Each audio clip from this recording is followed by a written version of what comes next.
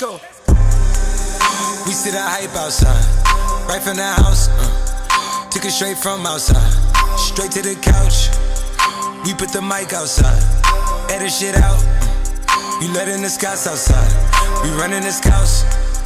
Ain't no control in the game. They never leave. I got tats over my veins, cause that what I bleed. She drink a lot of the bourbon, like she from the street. We got control of the flows in her. We heard that your wave went dry. We flood in the drought. Uh, heard that your hood outside. We added some routes. We having the goods outside. Move it in and out. You letting the scouts outside. We running the scouts.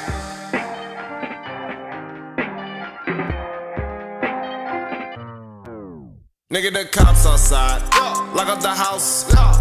We keep the team on high. Some gold in their mouth. Nigga, the Porsche outside. With at the top. She one of my most outside. Bringing the shots. Welcome back to the podcast, guys. Today we're with uh, Dover goalkeeper and coach Lee Worgan. So, could you tell us a bit about yourself? Yeah, hi guys. Uh, thanks for having me on. Um, been involved in professional football since I was 16. Uh, started at the club that you guys will know as MK Dons. Um, I was part of the transformation that the club moved from formerly Wimbledon up to MK. Uh, then made some different moves to various clubs, Rushden and Diamonds, Wycombe. Um, then I went into non-league football. Uh, spent some time at Eastbourne Borough, uh, Hastings United, Tonbridge Angels, Maidstone United, and now I'm um, now I'm full-time player coach uh, at Dover Athletics. So um, along those way, along the way as well, I spent some time with the Wales under 21 squad. Uh, so I've uh, yeah I've been fairly busy in my in my time in football.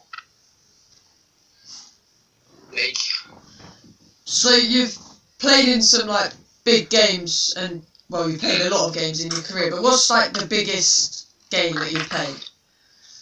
So uh, when I was in the Wales under 21s, um, I was in the same squad as uh, David Cotterill, who used to be uh, Birmingham, Joe Ledley, and the other the other goalkeeper was actually Wayne Hennessey, uh, who's obviously playing for, for Crystal Palace now. Now he fell ill the night before uh, a game where we were due to play against Germany. Um, so I was called into the squad for that. Uh, played the game. Um, Neuer was on the bench that day. Uh, Lahm, who used to be at Munich, he, he played. He captained the side. That's probably the biggest game I'd say I, I would have played in my career in front of a massive crowd. Uh, the game was on German TV as well. We lost 4 0, but it was, uh, it was a good experience. George, What, why? Uh, what was your feeling going into that game? Like when you woke up, like we're playing against Germany. I think uh, I think the fact that I was I was called into the, the team quite late. It kind of helped with nerves. I was only 19 at the time. and Obviously, I've uh, done all the preparation, but I was due to be due to be a sub. You know, so it's, it's a different you have a different mindset. You shouldn't, but you do. Um, and obviously, I'd, uh, I'd I'd been called into the team quite quite late. I think Wayne fell ill the night before, um, didn't really commit to not playing until the morning. So uh, the game's in the evening of, of that day. Uh, so I only really had the day to think about it. So I didn't have time to, to dwell on being nervous. It was more just excitement about being involved in the game. And I think when you're when you're younger, you know, like you guys are, you don't really get nervous at all. It's more more readiness and excitement to, to want to be involved in the fixture. Jake? So, Jack, yeah, it was good, good experience.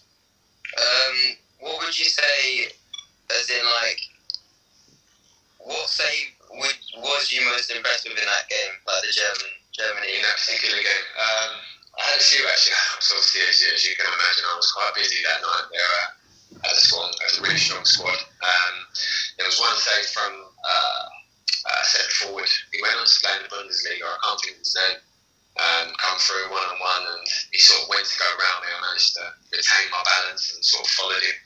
Um, and as he's gone to struck it, I've um, I've just sort of flown myself in front of it, and uh, the ball I think hit me in the chest or the face or whatever. But it sort of summed up the evening a little bit for me because it was one of them saves where, you know, yeah, I was he, he was destined to score, but I managed to, to, to get there and make the save. So, uh, but that was that, that that was involved in. I had quite a lot of saves to make that night, so it was um, yeah, it was a busy evening. in That's club football. goalkeeper. Oh, go. No, go on, George. Sorry, Jake. Go on, Uh, as a goalkeeper, uh, what's the feeling like when you can see a goal in front of your fans? yeah, you're obviously you're, you're you're disappointed because as a goalkeeper you're there, you're there on your own. You're effectively your main job is to keep the ball out of the net. So you do even in training you get you get frustrated. Obviously when it's uh, when it's a game, when it's a even more an important game, and if the goals. You know, you feel you could have done better. It's, uh, it's a bit of something that, that eats you up a little bit. But I think if you, as you get older, and as the more games you play, you tend to try and bury that feeling a little bit because you don't want it to affect the rest of, of your performance during that game. So I try to be a bit more reflective after the game rather than letting it get me at that point. Um, there's obviously been some goals where you, you do feel embarrassed or you know you want the ground to swallow up if you think that you could have done better. Um, obviously, if goals go in and they're flying in the top corner, then you're disappointed, but there's not a lot you can do. So, um, no, it's uh, can be disappointing, but it's, uh, it's one of those things. In club football, what's like the most important game you've played or been involved in or like seen?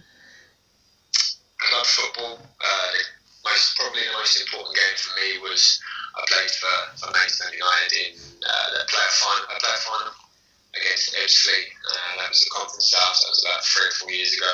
Um, went to penalties, um, and for my life in non-league football, that was probably one of the most pivotal games I've, I've played in. So yeah, that was um, yeah, that was a good, good, good game to be involved in. What was the feeling? Much the one who won the penalty shootout with them saves. What what was the feeling? I was shocked more than anything, to be fair, because uh, the, uh, the player, Danny Kedwell, whose penalty I saved, he scored two against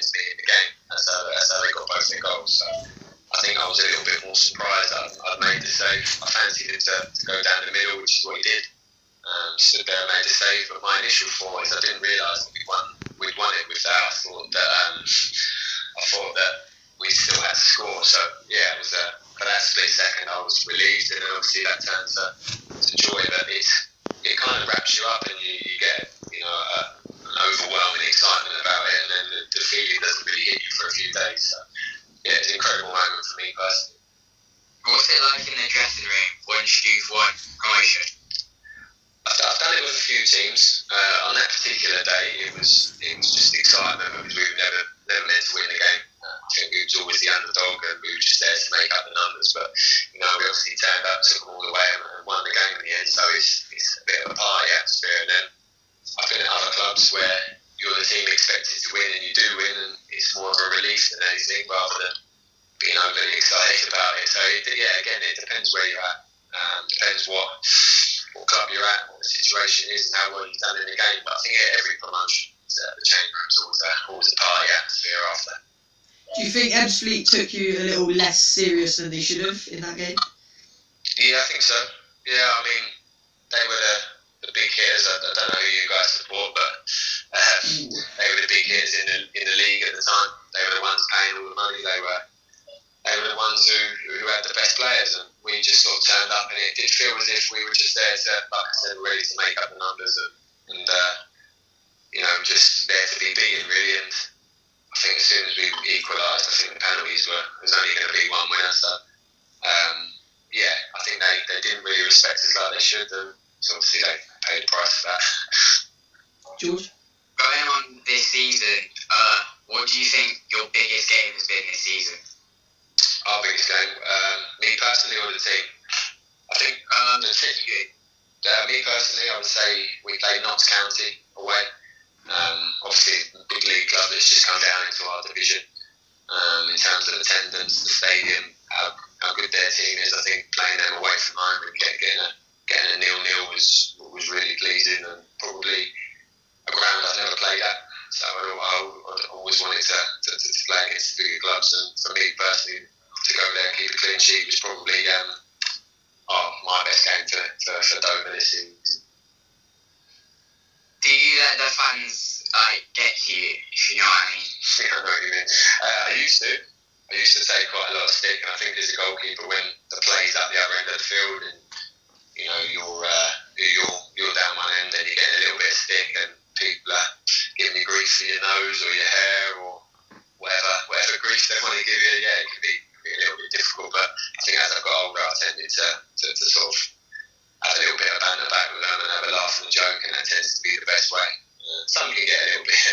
nasty, but uh, yeah, it's all it's all part of the game, and I think more more experience you have as a goalkeeper, the more you tend to, to understand that, that it is part of the game. The biggest game probably you've played in this season as a club was would have probably been Peterborough away. Yeah. Yeah. uh, I'd what so. was the feeling? Because uh, we all, all of us three was at that game. Are you Dover fans or Peterborough? With Peterborough. Peterborough. Are you Peterborough fans? yeah. What was the uh, feeling when you Toney got that goal? I think, um, do you know what? I can, I can actually talk you through the moment because, we, well, we'd obviously turned up. Peterborough's lovely, lovely stadium. I don't think we was ever, ever going to win the game, I've got to be honest. I think, you know, you guys were going really well at the time. Um, we done our homework, you score a lot of goals, you don't tend to lose at home. Um, I think the first 15 minutes we were a bit, bit jittery. And then obviously the goal, I think it's come from the goalkeeper. Is it Graham? Yeah. Yeah. the goalkeeper. It's obviously long kick, and I don't think there was any centre forward near our centre half at the time. So I'd given some information to to uh, to, to the centre half to let the ball sort of let uh, for him to duck and let it bounce through. So he's obviously not really not taken that ball. He's then headed it. He's obviously headed it up. I think Toney's kind of dropped off. And then as he sort of landed to him, I was thinking, "Right, yeah, go on then, like, have a go. Like, if you fancy, if you fancy your chances from there, then you deserve to score. And as he's left his foot, I knew instantly that I wasn't anywhere near the goal enough to save it. And then I looked at the sort of the way the ball was travelling, and I thought that's just going to nestle straight in the top corner. Um, so at that point, you do feel as a keeper a little bit stupid. I mean, it's brilliant. I don't think I could have done much about it, whatever. But um, no, yeah, it's uh, it was one of them where it flew into the top corner, and you can. I did say to him after, I said, you know, I think, I think you were a bit lucky to, to to sort of get that on target, and then I found out later that he's worth about ten million. So you can see why, yeah. No, it's a good finish to, to be there. But he battered us on the day, I've got to be honest. Jack? um, walking out against us, um, and like whatever atmosphere it was, how did it feel? I think it, it was a brilliant atmosphere. Um, but what, what took me to the beginning was the pitch. Pitch is just unbelievable, and obviously at our level, you don't don't get pitches as good as that. Um, you obviously get stadium sizes and, and, uh, things, but yeah, walking out in the crowd, it was it was it was a brilliant occasion. I actually preferred the second half.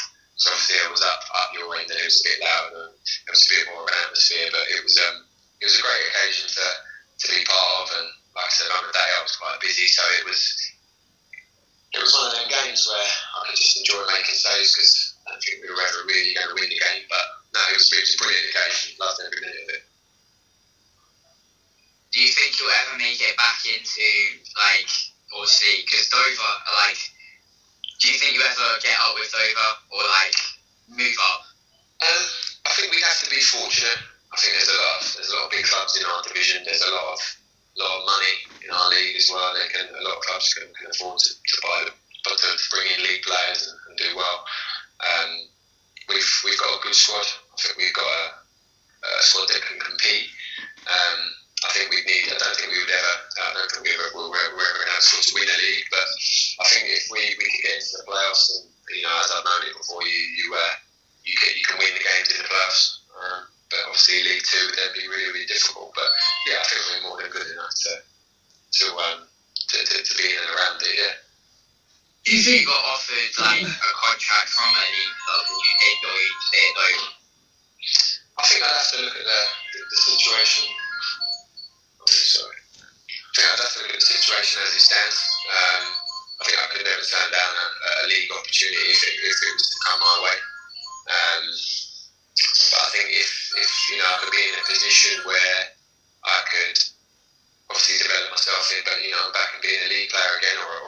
Coach, it would, would be something that I would be definitely interested in. But you know, at the moment, I think I'm with Dover, so if um, if I can do it with them, then well, you know, all, all the best for that. Do you think you're capable of getting a position in a top four flight team?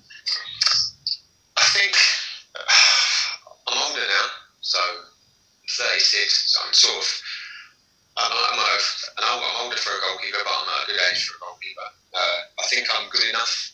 I've always thought that. I've always backed myself to be good enough, and I think I've been slightly unfortunate at times. I think my um, my body frame, I'm not the biggest, you know, as, you, as you've seen if you were at event.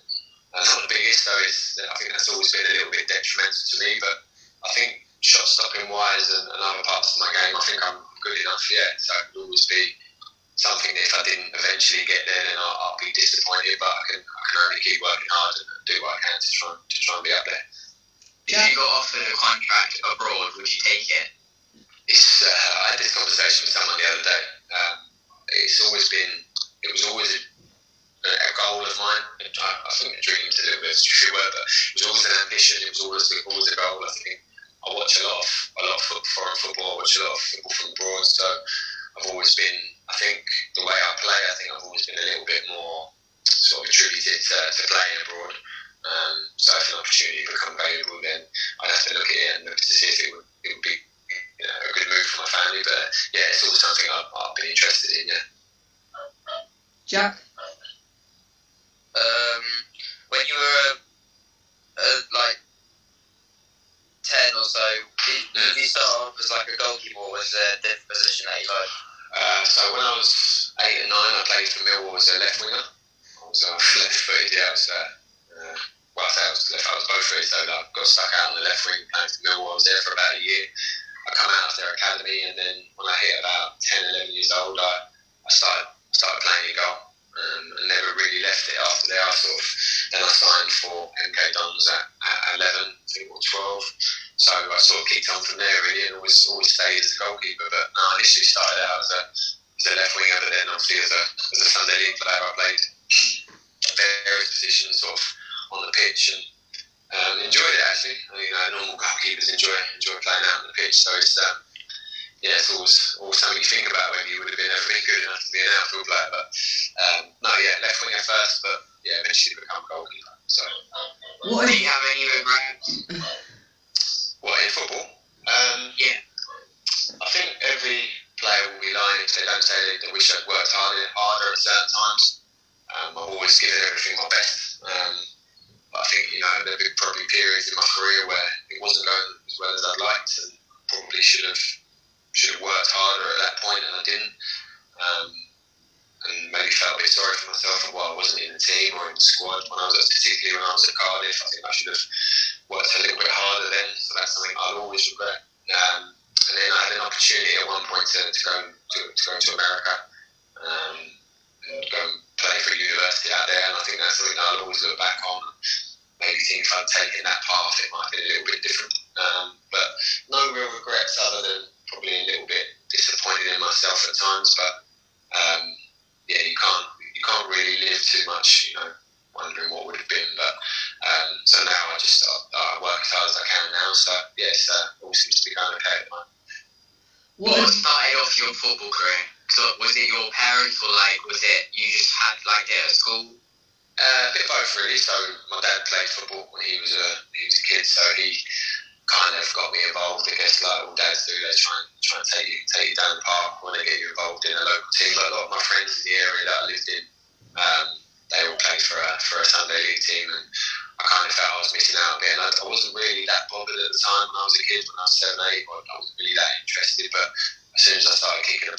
the ball around and playing, I, I immediately started to, to enjoy it. And obviously, my love for the game grew from that point. So, um, no, yeah, it was, uh, yeah, I've always since then loved the game. It was my dad mainly, my dad. what advice would you give to a young goalkeeper in like in their early teens like myself? I would say watch as much as you can, watch as many goalkeepers as possible. Um, you know, if you obviously you go to live games, so you've obviously got Christy Pym at Peterborough, excellent keeper, um, very very probably underrated. I think I think he I think he'd one that could probably go higher with, with either Peterborough or, or, or you know or himself, whoever he you know wherever he decides to go. But watch as many live games, study as much, study the game, study the position as much as you can. Um, train as hard as you can. You know, whatever whatever means you have to do that, whether it be with yourself or getting friends or doing as much outside training as you can. Um, don't get downbeat. You know, it's, it's a difficult position to play. Um, you, you're never the he- you're never you're very rarely the hero. You're very rarely a, a person who gets praised, so that can be tough. But just got to keep believing in yourself. And I think the one thing I would say for, for when you're playing in games, if you do make a mistake, like I said, don't don't dwell on it at that point. You know, don't really think about it. Park it to the back of your mind and deal with it after the game, just so it doesn't affect your performance. Um, that let me down when I was younger. I used to dwell on dwell on things when I was a kid during games, and um, that made me make more mistakes. So if you can if you can do that, that's not a lot of work as hard as you can, you'll, you'll kick on. Jack? Was it hard for you to change life from your like your normal life to a football life? You know what I mean, like eating, like going out and night. Yeah, I, yeah. I think when was 11, 12, 13, and then obviously going through my teenage years, you give up you give up a lot. Um, you don't go out as much. You, you don't socialise with friends because you're obviously having to train all the time. You've got to be quite strong-willed. Uh, that's saying that you can't not have a life. I think you still need to have time with, with your with your friends, and you have got to do do other things away from the game. But yeah, you do give up a lot Um, because you obviously then when friends are going to cinemas or, or going out or whatever, you, you can't do that because you have to be maintaining your diet and eating properly. And again, when you when you're young, you, know, you guys might find it quite hard to, to eat properly all the time, but you've got to try and do that because there is always someone else out there who's who's doing that. There's always people who are training more, and doing more. So you've got to keep up with those sort of people to, to, to try and get to that get to that club, get to that professional deal, and you know work. Like I said, just keep working as hard as you can. Jack? Right now, in this time, uh, what, what are you doing as a goalkeeper? Are you taking it as like a break, or are you pushing more? No, I'm pushing more. Um, I've, uh, I'm trying to do as much as you can. It's quite hard to, to replicate goalkeepers training, obviously, because a lot of ours is, is power based, it's impact stuff. Um, it's, it's obviously a lot of work with the ball. Um, so just going out and doing runs doesn't really cut it in terms of matching the sort of fitness work that we need. So I try and mix up my fitness plans. Um, I'm not going overboard because I don't want to burn out. We don't know when the season's going to start again, um, or if it does start. So I don't want to, to do too much and then not have a break. So I'll try and work a, work a, some sort of a break into into my, my life at the moment. But no, just work as hard work as hard as I can. Try and keep myself motivated. It's obviously a difficult time. We, can't go out and do much. So I think, think exercise helps. Are you treating it as like a pre-season within the season? Uh, so I did once the season finished. Well, once the season stopped, uh, we won our last games to play. We played Chesterfield um, in the middle of March. So I carried on training as if the season had carried on. Um, tried to stick to the same. So we train Monday, Tuesday, Thursday, Friday. So I tried to stick to that. Um, and then obviously our season would have finished Saturday, so I've stopped for a few days now, um, just to let my body sort of recover. And then what I'll do is I'll um, I'll train sort of intermittently. We've been sent a program um, about what we can do uh, for sort of different times throughout the throughout the off season. Um, obviously, it's a little bit difficult at the moment because you don't know when you're going to come back. Um, so yeah, I'll I'll just try and treat. Yeah, like you said, yeah, treat it as a bit of a, a bit of a pre-season, but I won't be going sort of overboard. Jack? Um, who would you say is the like the hardest player that you had to like stop shots? As in like the the, the hardest, yeah. I know Toney, without a doubt. Oh. Uh, he was um, he was one of the best forwards I've played against. Uh, he was his movement was incredible. You know, you could see why he's got Premier League clubs looking at him. Um, could never really, you know, really uh, guess what he was going to do. Never anticipate what he was going to do. He sort of dragged us around all over the place a little bit. It was probably the reason why you, uh, you know, why you beat us so comfortably in the end. Um, and then in our division, division we play in, um, there's a lot of forwards who, are doing well. There's a, there's a lad at Torquay United Jamie Reid. He's doing really well.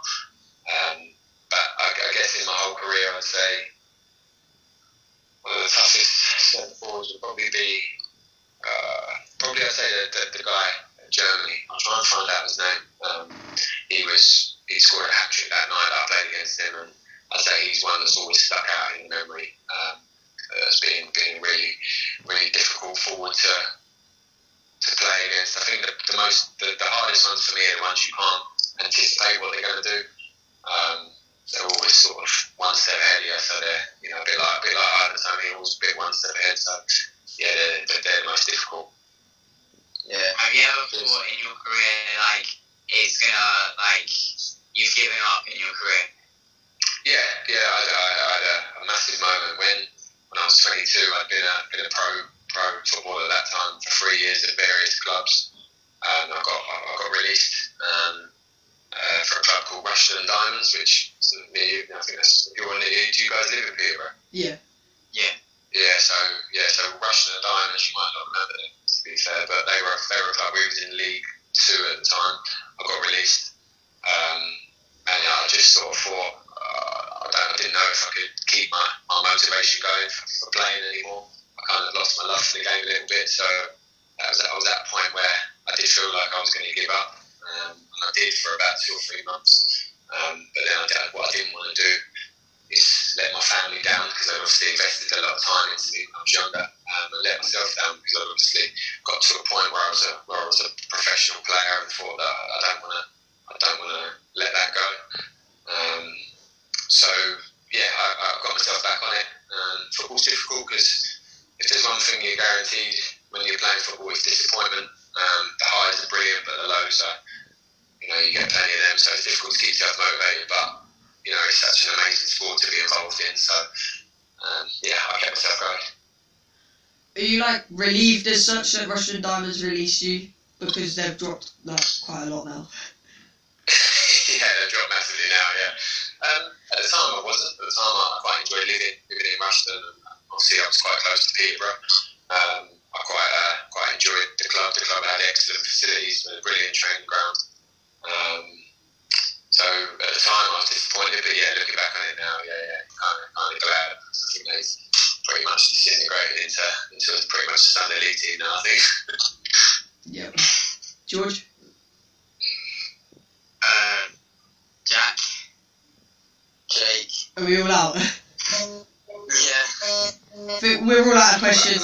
Thank you very much for coming on. No worries, fellas. I hope it, um, hope it all goes well. And if you need me to help you with um, connecting you to any players that I know, you just let me know, yeah? Thank you very much. Yeah. It's been a pleasure speaking with you. Take care. Bye.